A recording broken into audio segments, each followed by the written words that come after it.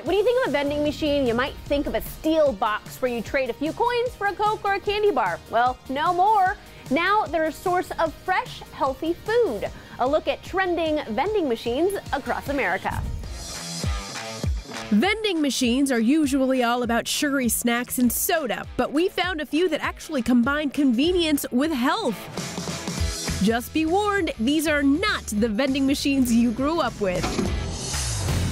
We'll kick it off in Chicago, Illinois, and Farmer's Fridge. We get fresh, whole produce in every day. We cut that by hand. We make dressings from scratch. They offer an array of salads, sandwiches, and healthy snacks for you to grab one on the go. We're not done getting fresh, healthy food to people until it's as easy to get a farmer's fridge meal as it is to get a candy bar. All items are 8 bucks or less. Not in Chicago? Well, no worries. They have expanded to multiple locations in Wisconsin.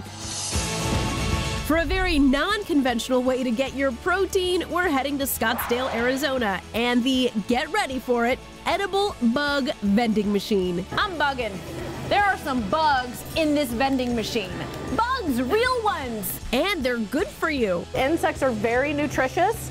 They have just as much protein, if not more, as well as iron and calcium compared to other livestock, and they're also a lot more sustainable to produce. I tried the chips made with crickets, and I have to say they were delish. They have as much protein as an egg white per serving. Those aren't bad. The machine is located in a place fittingly dedicated to insects, Butterfly Wonderland.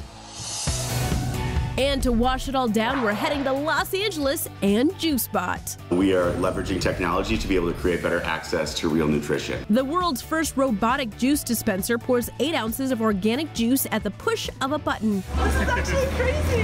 JuiceBot has four juice flavors to choose from, all under six bucks. You can find this one in downtown LA. Getting healthy on the go with vending machines across America.